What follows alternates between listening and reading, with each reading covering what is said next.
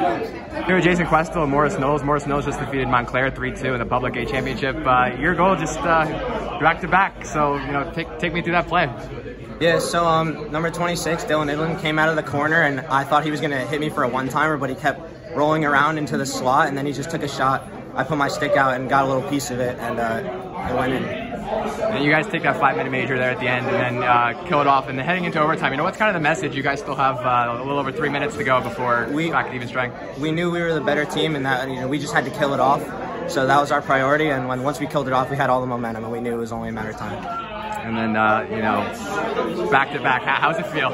It feels amazing. You know, we just made school history, and uh, for there's a lot of us on the team that were on the team last year, and it feels just as good, if not better, this time around. So.